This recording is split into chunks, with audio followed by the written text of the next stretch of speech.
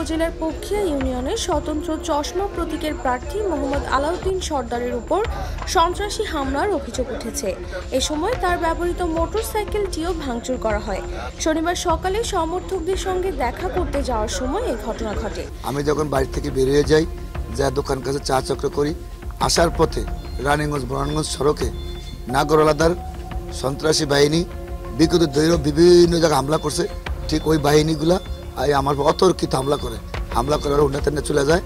এরপরে লোকজন আমার কি করছে নিয়ে আসছে, মাথা আঘাত খেয়েছে এবং আমাকে বড়দিন নেওয়ার জন্য চেষ্টা করছে। কিন্তু বড়দিন হসপিটালও ওর লোকজন ওর ছেলে সহকারে, ওর লোকজন ঘেরাও করা। এর আগে সাত ডিসেম্বর বেলা সাড়ে এগারোটার দিকে কাফনের কাপড় পরে প্রতীক আনতে যাওয়ার পথে হামলার শিকার হন স্বতন্ত্র প্রার্থী আলাউদ্দিন সরকার। তিনি বলেন, নির্বাচনে মনোনয়ন দাখিলের পর থেকেই নৌকা প্রতীকের প্রার্থী মোহাম্মদ নাগর হাওলাদার ও তার সমর্থকরা আমাকে হুমকি দিয়ে আসছিল।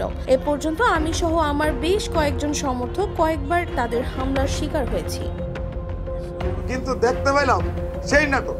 আলাউদ্দিন সর্দার সে এমন একটা নাটক করতেছে, যেই নাটক হইল আপনার মানুষকে বিভ্রান্তি করার জন্য।